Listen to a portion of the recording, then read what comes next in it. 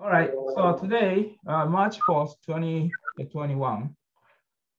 And so this is uh, uh, Jesus in the second worldwide course to restore Canaan. Uh, it's a, yes, part one.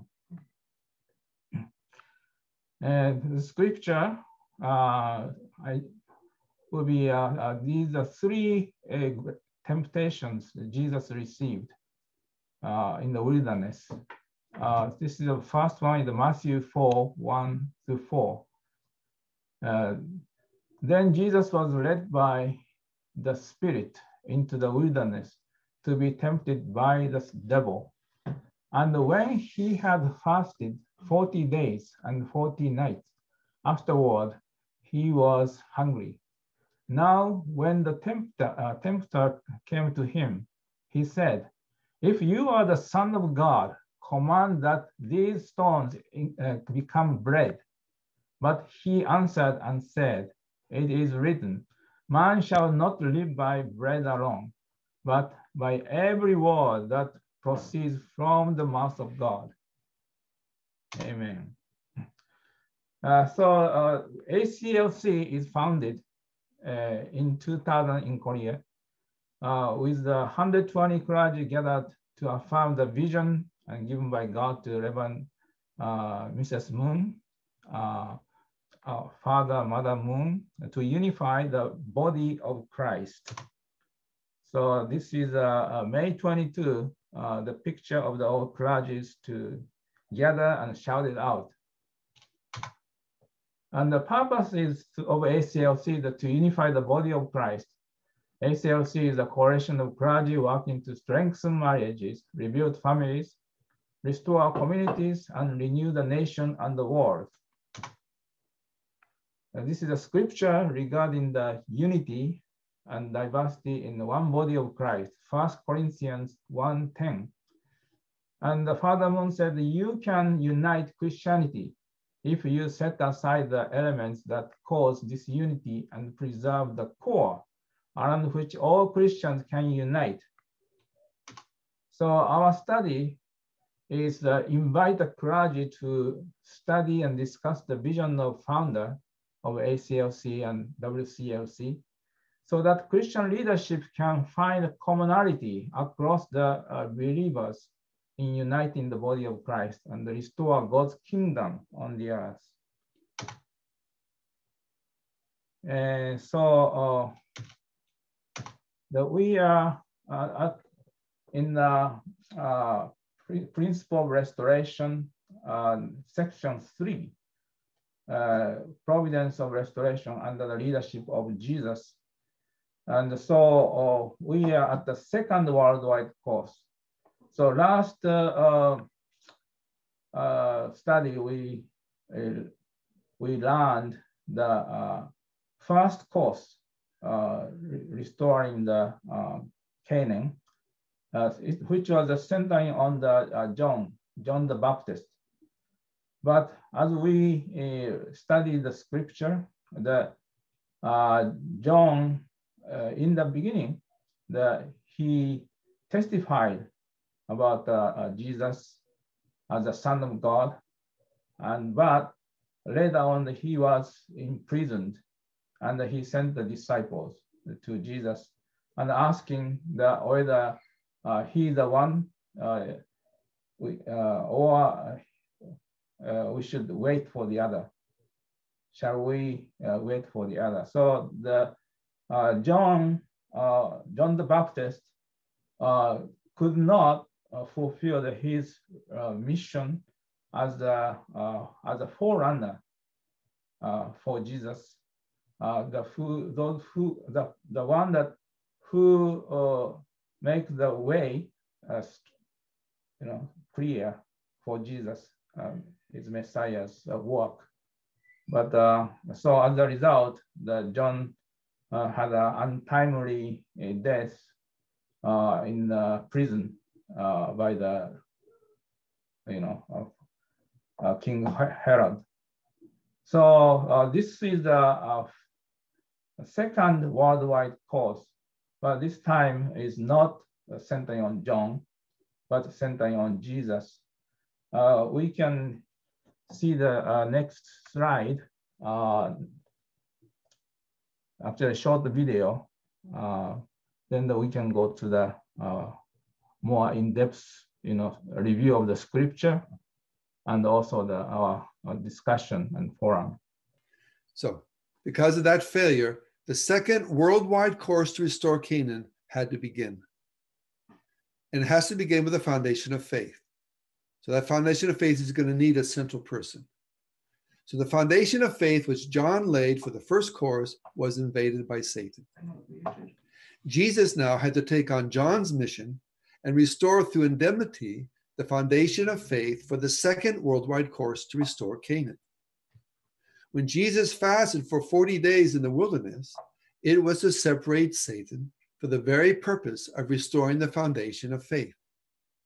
So if you look in scripture, you'll see that right after John the Baptist and Jesus meet in the baptism, it's right after that when John doesn't become his follower, does not become his disciple, that's the point where Jesus goes into the wilderness to fast for 40 days. However, for this, Jesus lowered himself from the Lord of glory to assume the position of John the Baptist and walk a path of suffering. Jesus enjoined Peter not to reveal that he was the Messiah, because although he was the Messiah, he had assumed John's role to begin this phase of the providence. So if you look at Matthew 16 20, then he, Jesus, sternly ordered the disciples not to tell anyone that he was the Messiah. So, what is taking place here? The first worldwide course was successfully established by John the Baptist. But when John the Baptist did not offer that and connect with Jesus, it was lost. Hmm. Therefore, what did Jesus have to do? He leaves his position as Messiah and he takes this role to fulfill the foundation of faith. Who else does he have to call on? Who else can he go to and ask, you know, can you please be the one to testify to me, to stand up to everyone and show everyone that I'm the Messiah? There's no one who can do that. So he himself takes on this role uh, to stand as a central person for the foundation of faith. And he does that by what? By making a condition of indemnity, by going to the wilderness to fast for 40 days. Then, on that foundation, if it's successful, if he's successful, he will then seek to find Jewish people to come and unite with him, just as they united with John the Baptist, that they can humble themselves and receive him and work with him together. If that's successful, then Jesus will be able to stand as a Messiah. So once he has this foundation, he stands with God, he has a people who are united with him, then Jesus would be able to say to those people, you know, by the way, I happen to be the Messiah that you were waiting for. And those people then would have been able to completely receive him and uplift him as a Messiah. Jesus' three temptations in the wilderness. It is written that after 40 days of fasting in the wilderness, Satan tested Jesus three times. First, he showed Jesus stones and tempted him to turn them into loaves of bread. Next, he took Jesus to the pinnacle of the temple and challenged him to throw himself down. Finally, Satan took Jesus to a very high mountain and offered to give Jesus all the kingdoms of the world if he would fall down and worship him. What was Satan's purpose in giving Jesus the three temptations? Jesus came into the world to accomplish the purpose of creation by restoring the three great blessings. Therefore, Satan tempted Jesus three times in an attempt to prevent him from restoring the three blessings. Jesus' answer to the first temptation was Man shall not live by bread alone, but by every word that proceeds from the mouth of God. Matthew 4 4. By this victory over this temptation, Jesus fulfilled the condition to restore the individual perfection and thereby establish the restoration of God's first blessing. Next, Satan brought Jesus to the pinnacle of the temple. If you are the Son of God, throw yourself down, for it is written, He will give His angels charge over you.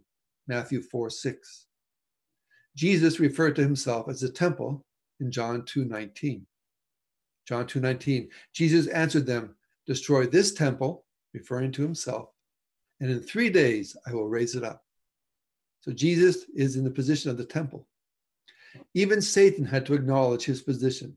Thus, he put Jesus on the top of the temple. When Satan dared Jesus to throw himself down, it meant that he wanted to usurp Jesus' position by enticing Jesus to fall from that position to the lowly state of a fallen person. By overcoming the second temptation, Jesus, the main temple, the bridegroom and the true parent, established the basis upon which to restore God's second blessing. Finally, Satan took Jesus to a very high mountain. All these I will give you if you will fall down and worship me. Matthew 4 9. As a perfected Adam, Jesus was the Lord of creation. As it is written, For God has put all things in subjection under his feet. 1 Corinthians 15 27. Satan led Jesus to the top of the mountain in recognition of Jesus' position as Lord of creation. Satan then tempted Jesus, hoping that Jesus, the second Adam, might also submit to him as Adam had submitted in the beginning. By prevailing in the third temptation, Jesus set up the condition to restore dominion over the natural world, God's third blessing. So let's take a brief look. Jesus' three temptations in the wilderness. These three, three temptations were change the stone to bread, throw himself down from the pinnacle of the temple, and to bow down to Satan and receive all the kingdoms of the earth. The last three blessings were what? The first blessing was individual perfection. The second blessing was a family perfection. And the third blessing was to have dominion over all things. This is what was lost in the fall of Adam and Eve. So Jesus restores these three great blessings. So he restores the word of God, the position of the true, the word in flesh, the true Son of God, the perfected, you know, temple on this earth. He does that by what? He's tempted to change the stones to bread. So when you think of a stone, where does that, if you think back to the this whole process of restoration, the stone takes us back to Moses' time. Remember, Jesus said, I am the rock. And it's when Moses struck the rock twice with bitter anger that he lost his position. And God uh, told him he would not be able to enter Canaan. That was a condition of striking Christ. So here Satan is coming and saying, again, based upon the rock, the stone, he's saying, you know, defile the stone like Moses did, and you know, uh, turn it to bread for your own self-satisfaction, that you can end your hunger. So Jesus is very clear, and he understands exactly what this temptation means. And he puts himself above that and says, No, uh, we will live not by, by, by bread, but by the word of God. And he, of course, is the word of God. So he's putting himself in this position of perfected Adam. And then in the second temptation, he maintains his position. He doesn't throw himself off the temple. And this is not just one temple. There are synagogues throughout, uh, throughout the country of Judea. So by maintaining his position, it's the whole family of the faith, of the chosen people is that family, which he is also saving. So in this way, the second blessing, which was about the family, is restored. And finally, when he's tempted to bow down in order that he can become Lord of all this world, he tells his Satan, no, that he is, as a son of God, he is the true Lord of this world. And that comes from his relationship with God as God's true son. So Jesus goes through these three temptations. He overcomes every one and he emerges victorious. So I think this is a very, you know, a very hopeful moment for God in God's heart. And God says, hey, we can do this. Now we have this uh, clear position established, victory over Satan. I have my son standing in the position of my son on this earth. Satan has tried to attack him, but has failed. So now what is needed? If the foundation of substance can be fulfilled, Jesus will be able to establish the needed foundation for the Messiah. So we're going to stop here. We'll conclude here.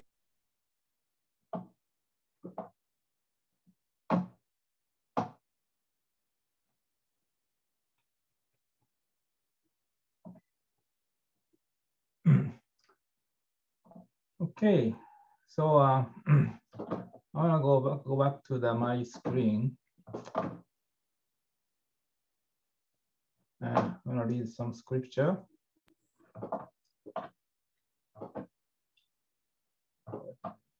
Am I again? I'm muted.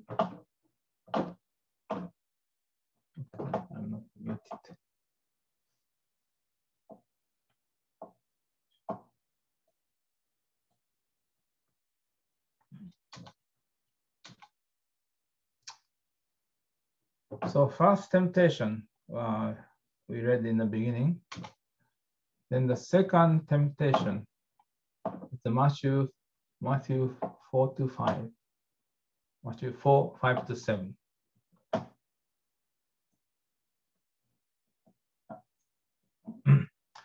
then the devil uh, took him up into the holy city, set him on the pinnacle of the temple, and said to him, If you are the Son of God, throw yourself down, for it is written, He shall give his angels uh, charge over you, and in their hands they shall bear you up.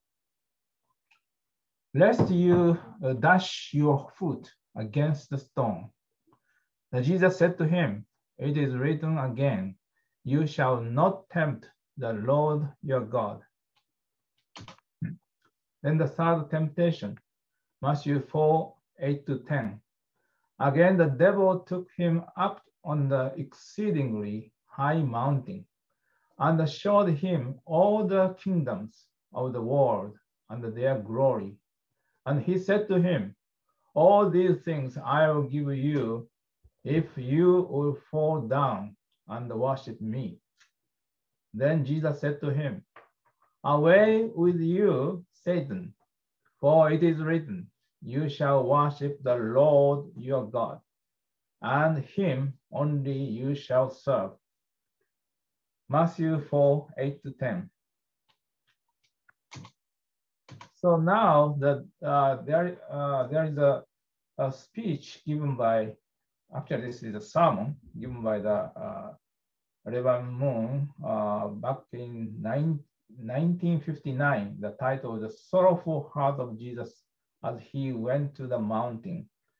So this is almost like uh, his uh, reflection, uh, his uh, deep uh, kind of insight uh, about the heart of Jesus when he went through the temptation and came out, you know, victorious from the temptation. I want to ask Julia to read this um, few, few Okay. slides. Heart of Jesus. Jesus defeated Satan by overcoming three temptations in the wilderness, the last of them on a mountaintop. Yet we should realize that when Jesus journeyed to the wilderness after, be, after being rejected by the chosen one, John the Baptist, a situation that made likely his rejection by the Jewish nation as well, he carried a heart of sorrow, the like of which no one on earth had ever experienced. The determination and sense of mission. Jesus was filled with the determination and sense of mission to pay the debts of history. What did he think about during his 40 days of fasting? He felt an acute sense of responsibility to restore, through indemnity, by himself, the rueful course of his forebears. As he walked through the wilderness, Jesus might have thought about how all mankind, the descendants of Adam and Eve, ever since their expulsion from the Garden of Eden, have been roaming about a wilderness of sorrows in search of the garden. Reflected on Abraham. What Jesus did think about as Satan led him to the top of the mountain Jesus reflected on Abraham, who had journeyed to a mountain after he was co- commanded to sacrifice Isaac. He thought of Abra- Abraham's heartbreak as he led his son up Mount Moriah. For whom did Abraham have to offer his only son Isaac as a sacrifice? Jesus must have reflected upon this fact that it was for Heavenly Father and ultimately for the Messiah, for him. Recalled Moses. Jesus then recalled Moses. He imagined the scene in which God appeared to the sorrow stricken Moses in the burning bush by the foot of Mount Horeb and formed an unchanging bond with him. Moses fasted and prayed for 40 days, and he came down with God's word. For whom did Moses pray and fast for 40 days? Jesus reflected that it was only for the sake of Heavenly Father and only for the sake of establishing a restored nation through the cho- chosen people and of paving the road for the Messiah. Repent, for the kingdom of heaven is at hand. Then the devil left him, and behold, angels came and ministered to him. Now, when John heard that John had been, Jesus. Hmm? Jesus, when Jesus. no, oh, sorry. Now, when Jesus heard that John had been put in prison, he depart, departed to Galilee. From that time, Jesus began to preach and to say, Repent, for the kingdom of heaven is at hand. Matthew 4 11, 12, and 17. Accepting what Jesus taught. When you say you believe in Jesus, do you only believe in those things that make you feel good? Do you, re- do you reject those things about Jesus that make you feel painful? We should accept what Jesus taught and do those things that Jesus himself would want us to do. We should not take part in the things that Jesus would not like. What are those things which Jesus would not like? They are simply Satan and sin. For what should we repent? We should separate ourselves from Satan and sin and, and believe in Jesus from that position rather than from a position in which sin, Satan, and Jesus are all mixed together in our lives. This is why Jesus said, Repent, for the kingdom of heaven is at hand. For what should we repent? We should repent for the fact that we have been living together with Satan and sin throughout our lives. Mission of Jesus. Once we have repented and separated ourselves from Satan, Jesus urges us to believe in God and serve God. Jesus wanted to rule over the world from which Satan and sin were eradicated, not a world in which Satan was mixed together with everything and in which people had just a vague belief in Jesus. Jesus' mission was to separate individuals completely from Satan and sin and separate families and countries from Satan and sin. Sins that dwell in me. Even the most faithful believer in Jesus or the most righteous church on earth cannot proclaim proudly that they are absolutely separated from Satan and sin and that they are following Jesus exactly as he would have them do. No one can say they are living in a perfect love in an ideal world with no suffering and tears. This means that Satan exists as much within churches as he exists everywhere else. Furthermore, there is almost as much sin there as in the rest of the world. If this is true, and if that what church people love and hate is no different from what the rest of the world loves and hates, then there is very little difference between the world and the church. Which would Satan find more pleasure in? The church or the world? Deliver me from this body of death. I find then a law that evil is present with me, the one who wills to do good. For I delight in the law of God according to the inward man. But I see another, another law in my members, warring against the law of my mind and bringing me into captivity to the law of sin, which is in my members. Oh, wretched man that I am, who will deliver me from this body of death? I thank God through Jesus Christ our Lord. Romans 7 21 to 25. Thank you. So uh, when we discuss, I, I want to bring the, this two uh, point uh, to focus on. One is the, how does it make you feel when you think of Jesus as he emerged victoriously with hope and determination from 40 days fasting and the three temptations.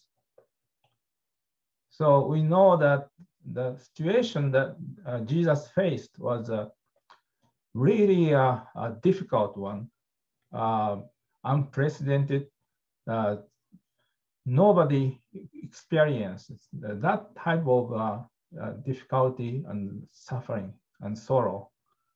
The uh, especially the when John, the John the Baptist, who was chosen by God as a representative of the entire uh, history uh, of the 4,000 years to prepare uh, the coming of the Messiah. That John the Baptist was beheaded and no longer there. And even he created so much uh, confusions among the Jewish people because John did not testify yeah, he is the Elijah. Even though Jesus said that uh, if you accept, John is the Elijah you are waiting for.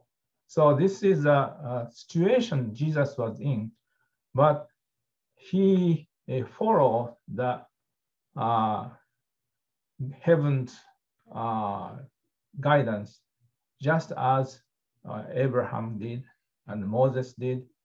And uh, he he went to the wilderness for 40 days and fasting and uh prayer. And uh, finally uh, he met he faced the three temptations. But he emerged victoriously.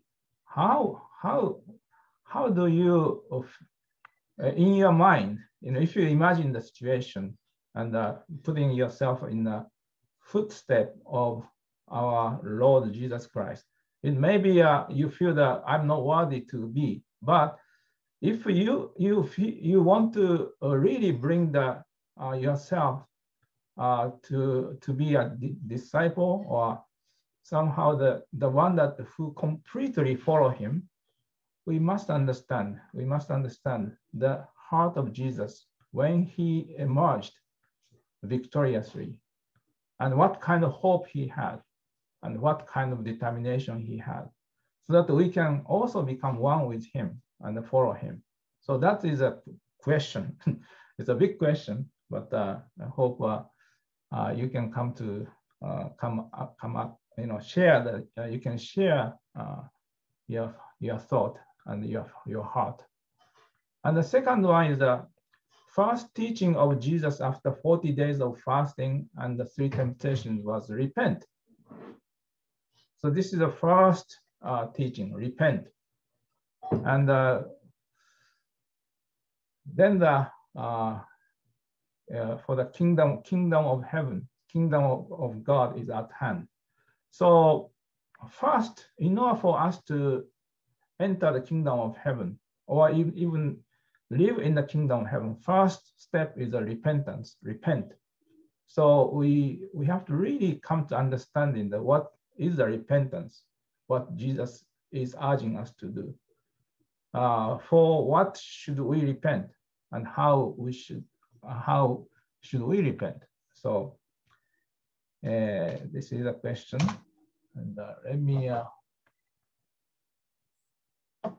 oh, Reverend Gabriel, thank you uh, for coming. Uh, Okay, uh, how about uh, Reverend, uh, start with Reverend Reginald. Uh, would you like to share with us? I think uh, uh, this is uh, one of the area that we all want to come to the very, you know, good understanding, and not not just the surface, you know, the, just only the concept, but also that we want to feel the uh, depths of the heart of God and the heart of Jesus. So if uh, uh, Reverend Reginald, are you there? Pastor Reginald. Pastor Reginald. Pastor Reginald. We'll go to Sister Nancy. Okay, how about Nancy? Would you like to share with us?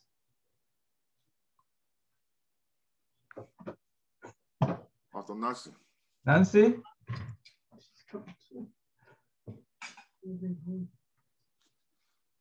Pastor Nancy. Okay. Hello. All right. Yeah. Yeah. I'm just so excited to know the victory of Jesus and to be able to understand more and more details about how really it was a victory and it is a victory now. And um and so many odds and so many difficulties that could have arisen that did arise and how just each thing, each point, he was able to claim victory. And so I'm just so, so, it's so amazing to me, his love. And the, the reason for all this is because of the love of heavenly parents and God and for the love of Jesus, that he just loved the people, he loved the world, that he could give his son. and I'm just so excited and so grateful this morning. yeah, and that's I think all I can say right now in my situation with taking care of grandchildren and driving to the next grandchildren. but thank you so much. I'm so happy to be able to be listening today. So that's Thank you. Nice, nice morning in Japan. God bless you. God bless you. Thank you for uh, attending in the. yeah, no, thank you for having this. Okay, so Reverend Reginald is uh, may not be available. Mm, Nigerian factor. He, he may come back. Okay, hi, Nancy. Nancy, how about the next uh, second question uh, about the repentance? What was the question? Okay, the uh, the, the first uh, uh, first words that Jesus spoke, you know, after the temptation, and he Yes. anyway, his, his first wo- words he spoke about his, his ministry was the repent. Was repent for the kingdom of heaven is at hand, right? Yeah. Yeah. So the and the uh, Father Moon's you know account on the repentance is kind of revealing that this is a word that quite often that uh, for, forgotten uh, Mm, by the believers because you know we always emphasize you know uh, thank you Jesus right yeah. God and kingdom of heaven at hand. But all the good, great news, great news, good news. But are we just, uh, you know, uh, focus on the good news? Oh, I What- see. Everything that what Jesus said, you know, Right. this first commandment, repent. まもなく右方向です。 Right. So that's the things. Uh, uh, Mm. What we should repent and how we gonna we should re, how we should repent. So anyway, the, it- this is a re, really kind of a, a very uh, personal, uh, but also the you know very important uh, issue. And so I don't know if you can answer that Yeah. you know, Yeah, I can try. Um,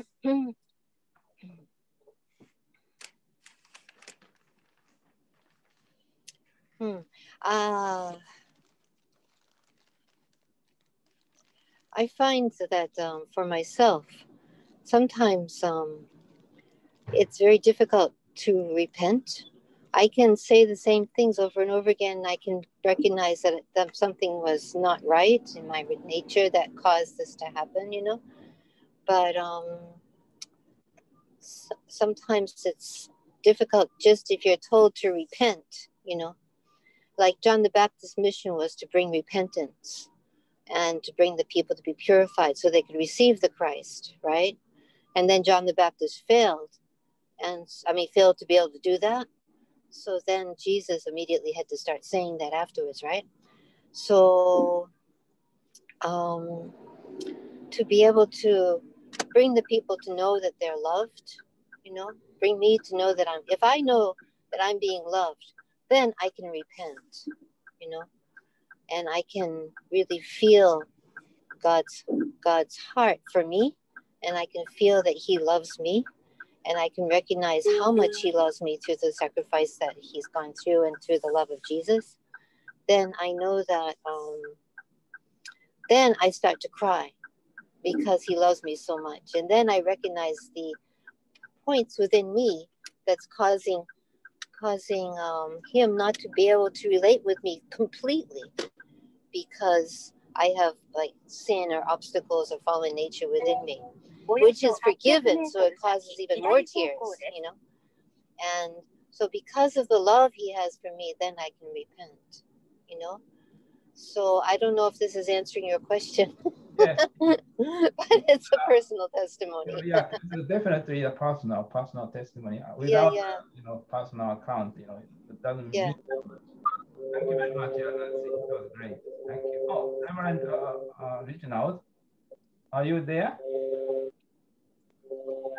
Oh, his, uh, his electricity is uh, making a lot of noise. Yes. Okay, thank you very much, uh, Nancy. Um,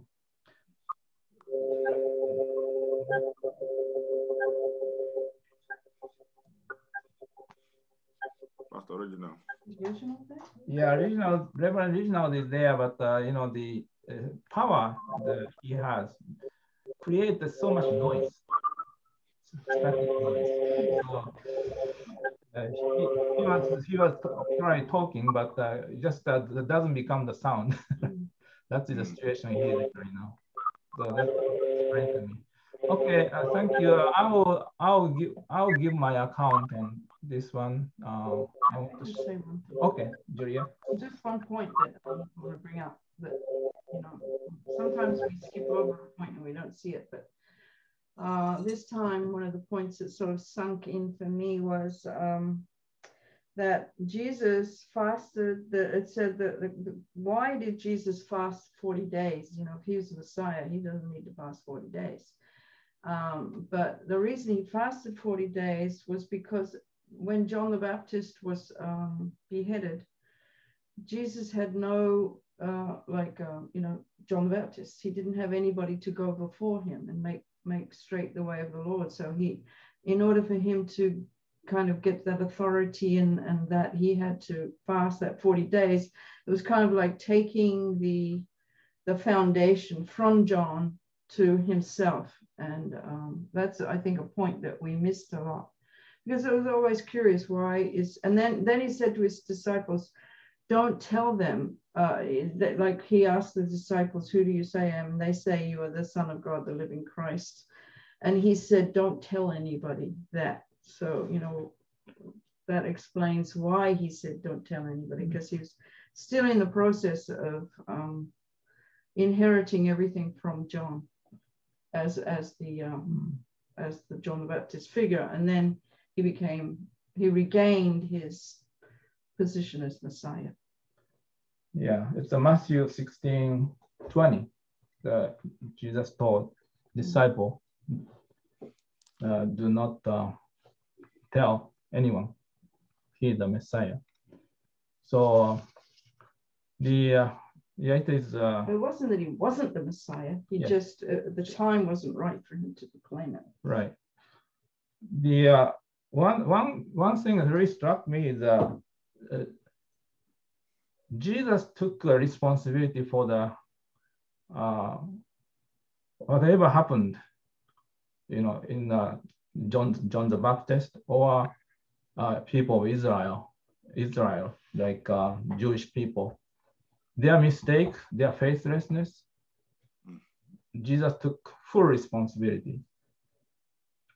Just just like Moses, when the uh, Moses was in, near the Mount Sinai, the people of uh, Israel, is, is, Israelites, they complained and they started to disbelieve, disbelieve Moses. And uh, but the Moses uh, pleaded God, please give me one more chance. You know, even though they, you know, they he he did 40 days fast and then he came back and then everybody was just completely lost their faith. But here Moses took responsibility one more time of the for the people, not for him. He did he didn't do fast fasting or whatever he is doing is not for him. Actually, for, for the people, for God, he took full responsibility. That was the same. I feel the same for, of course, Jesus took a full responsibility for the mistake and failure of the uh, Jewish people. And also the at the end, of course, he, he took a full responsibility for our sins. Our sins are coming from our ancestor, uh, Adam and Eve, and also the all the sins that uh, Bible described, you know, uh, those uh, uh, adulterous feeling and uh, uh, fornication and selfishness and all the greed, everything. It, it, is, it is there from the, our ancestors and we cannot escape from it. Every none is you know, righteous, you know, the Bible said. So we are all sinners. And even St. Paul, he is the greatest, you know, evangelist, this disciple of Jesus, he said he is a he is a sinner and of, of which he is a chief. He said he is a chief. So that this uh, uh, Romans, you know, his uh, his uh, lamentation about the sins uh, in his in his members, his body, it's uh, he he lamented you know. So the, the level of the lamentation, it is, it is hard to grasp that man like him, you know, man like him, how he could repent that much. He said, the wretched man that I am, you know, that is that the great, you know, disciple of Jesus, Saint Paul. He repented and to the level that that he he really really pre, you know cried out and lamented. That's that's the level of the you know a kind of repentance we need. We, we cannot uh, just repent. Sorry, you know I, I did something wrong. wrong. I'm sorry that I, I thought about this kind of uh, feeling about uh, this woman or you know I'm sorry that uh, I, I I made a mistake and I, I ate too much. Uh, we cannot make that kind of, it's not the repentance. You know, repentance is really the level that St. Paul show, shown us that crying out, crying out to God and uh, really uh, uh, when, when we reach that level of the repentance, we, we, we can, we can, you know, receive the Christ. So that is a, you know, one of the things uh, we often uh, not talk about. That is a, you know, even though that we, we praise God and praise Jesus and, uh, uh, you know, we are grateful for the, you know, great news, you know, for the kingdom of heaven. But the most important step to, for the kingdom of heaven is the repentance but to what level of the repentance, what, how we should repent. Uh, this is one of the things I, I really thought about. The, the, there are so many, uh, you know, sad situation in the Bible, like a Cain killed Abel. And that, that, is, that is terrible, terrible, you know, terrible things happened in Adam's first family of God. But uh, how, how, how we relate to that? How we relate to the Cain killed Abel? Actually, when, if, we, if we think that actually that was, he, that was me, I killed Abel. Actually, the, the blood of the Cain is within me. Actually, we have that kind of anger, you know, resentment, and uh, uh, that me. You know, if, if we start looking at all the things that happened uh, in the Bible, uh, the disbelief, you know, and uh, uh, casting the stone and all these persecution and the Roman Empire, you know, Roman soldier uh, killed the, uh, you know, pierced the Jesus' heart. That kind of things. Who did that? Actually, it- it's me. If you kind of really looking at that is me because the blood of those, you know, uh, the evil of satanic blood is within me. Like Saint Paul's come, he came to that conclusion. That's why he was repenting that much. We know that he was the one that persecuted Christians, and uh, he the one that tortured you know, Jesus' disciples. And so, so that is the level of the, of the you know kind of uh, feeling, understanding of the that those those, those depths of our sins, the sin that we, we, we are carrying from the past, from the ancestors, then that we can really de- repent. But uh, anyway, that is my my reflection, and thank you. Uh, Reverend Gabriel, uh, thank you for coming, and uh, if you can give us some of your some of your reflection on this topic, What, what- praise God. praise God. What I see in the in the in the, the whole thing is that number one, repentance. What is repentance? Repentance is turning away from your old ways Amen. Yes. um, and moving to the new way. Moving to the new way. And then repentance takes place at the altar of humility. If one is not humble, you cannot, you cannot undergo repentance. He will always be justifying himself of everything he does. Hmm. But we go to repentance without justifying ourselves. If there's anything that's killing the Christian today, is self-justification. Mm. Yeah. Yeah. So true. Self-justification. I, I know it all. You know what I'm doing is the right thing. Even though it's doing the wrong thing, it says it's doing the right thing. And if you go and check most of the churches today, hardly they don't preach repentance. Hmm.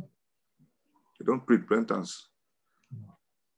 See, that is why you discover that the, the, the, the, the church is going down. People have been discouraged. Somebody was telling me this morning that in their church, the, the choir master is befriending the pastor's wife. The pastor is befriending another, like that, like that, like that. Hmm. Somewhere, you know, Brooklyn, somewhere in Brooklyn. And then the church has gone down to the extent that most of the churches now, if we go there, they are putting for sale. Because why? Within the period, people have not really humbled themselves. Leaders have not humbled themselves. So therefore, the disciples too have not humbled themselves to come to the place of repentance. You know, Paul, Paul, Paul humbled himself. What Paul was telling us is that look, before then I was a sinner. So don't think I'm an angel that fall from heaven. I was the Hebrew of I was the Hebrew of the Hebrews. I was among them who persecuted the church. Mhm. But after repentance, I'm now a new person. And that's what uh, 2 Corinthians chapter 5, verse 17 tells us. If a man be in Christ, is a new creation. Old shall passed away. Behold, all things are new. In Romans chapter 8, verse 1, he said, There is no more condemnation to them that are in Christ Jesus. Paul humbled himself. No wonder when he get to the Galatian church, Galatians chapter 2, verse 20, he said, Not I that live, but Christ that lives in me. So if Christ, if we repentance happens at the place of humbleness. If I do what is wrong, I should know I have done what is wrong. Then the next thing to do what? To ask forgiveness, to apologize. There's no need arguing. There's no need arguing. Look at what the governor of uh, New York is saying now concerning what they're accusing him for. Yeah. He came out and said, Look, I'm sorry if I've offended anybody. Please, I'm sorry. It's not repentance. Eh? It's not No. repentance.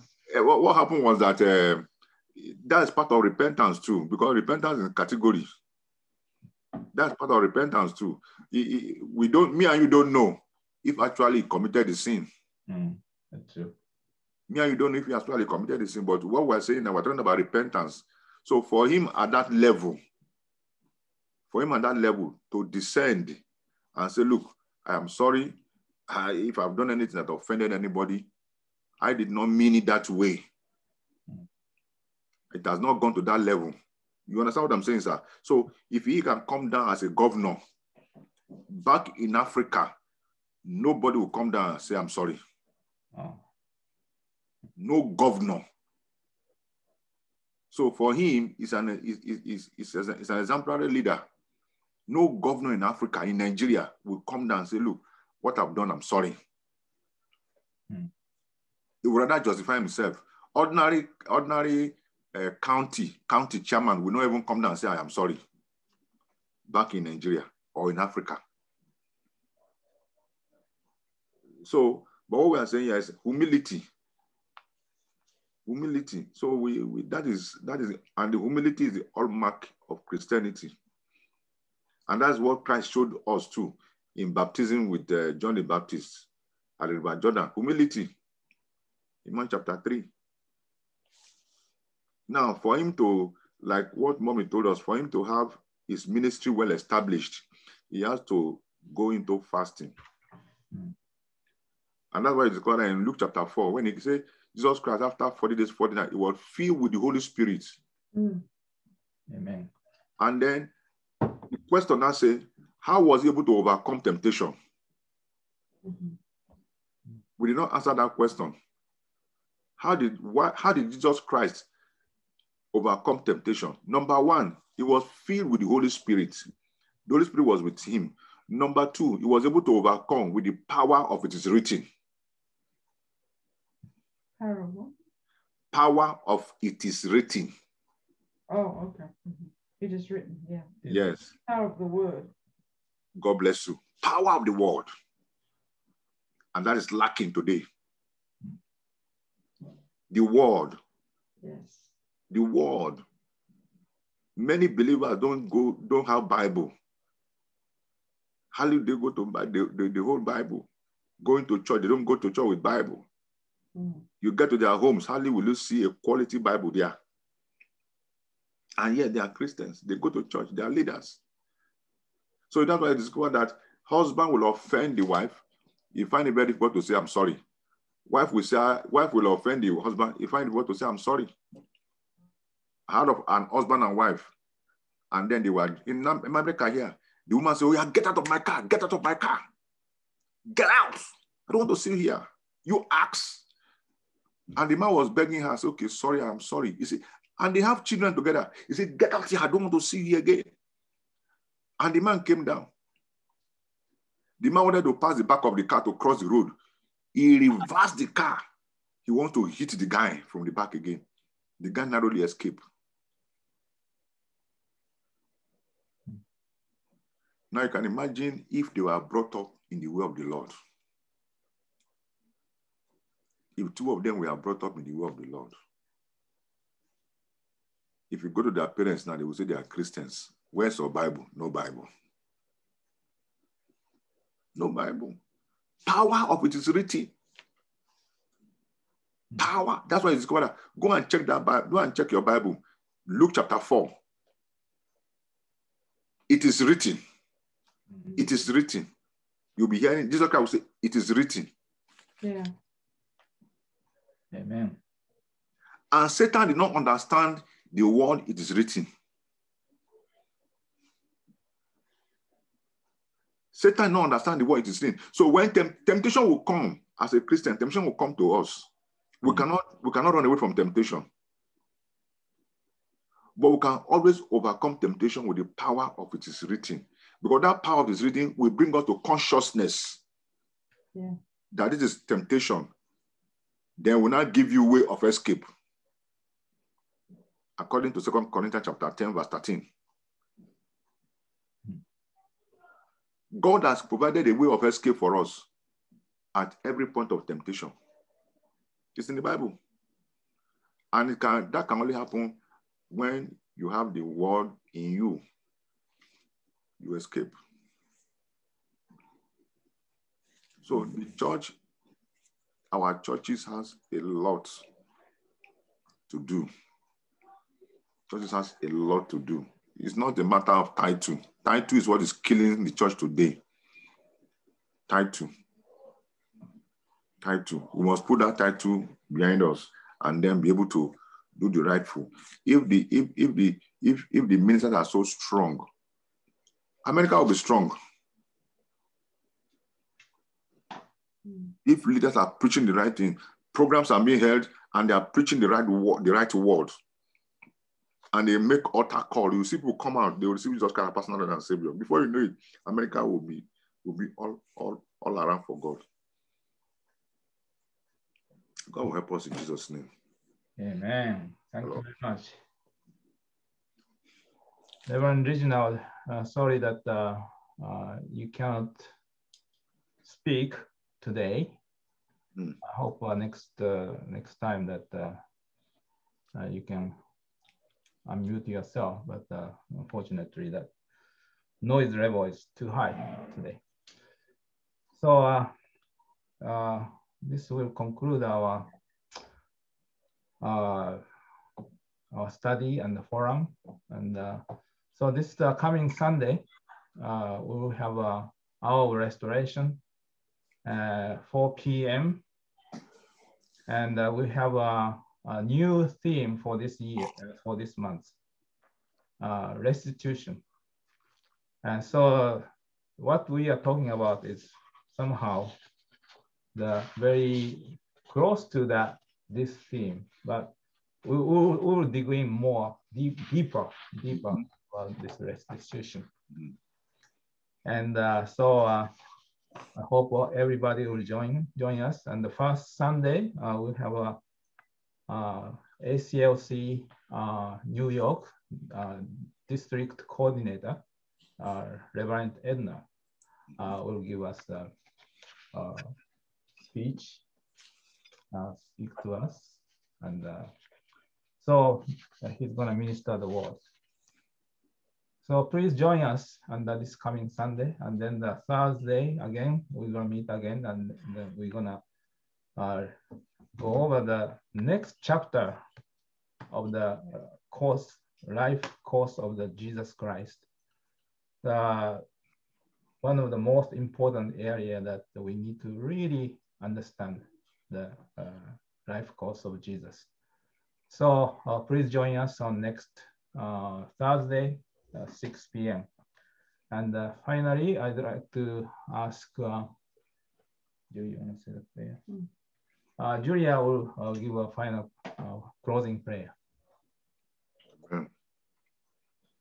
Most, most beloved Heavenly Father, we come before you now to offer this uh, hour of restoration where we studied about the life of your Son, Jesus, your most precious Son, who came to this earth 2,000 years ago and uh, by his love and by his suffering on the cross and his resurrection on the third day uh, was able to give us the salvation that we have been longing for uh, since the time of Adam and Eve's fall, and also that you have been longing for to see your children freed from the sin and the suffering that um, that sin brought, the death that was brought to us, and that we were cursed with uh, through the fall.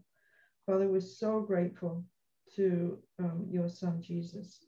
There's just no way we can really uh, show our gratitude or say how grateful we are. If we give our whole life, it would not be enough. But um, we are thankful and we just want to encourage you, Heavenly Father, because we are striving to do your will at this time, at this precious time in history that we have, that we are alive. This is our time. This is our time to do something for you. This is our time to offer something of ourselves and of our work, of our heart, of our lives. And I really pray that this offering that we make to you can be pleasing in your sight and can uh, uplift you as you uplift us, Father. I pray that we can glorify you, that we can glorify your name, that we can glorify you to the all corners of the earth, north, south, east, and west. And Heavenly Father, that all men may come to know that you are their God, that you are their Father, and that we are your children. I pray all these things in the name of your Son, our Lord the Christ. Amen. Amen. Amen. Amen. Praise, Thank you very praise much. the Lord. Praise the Lord.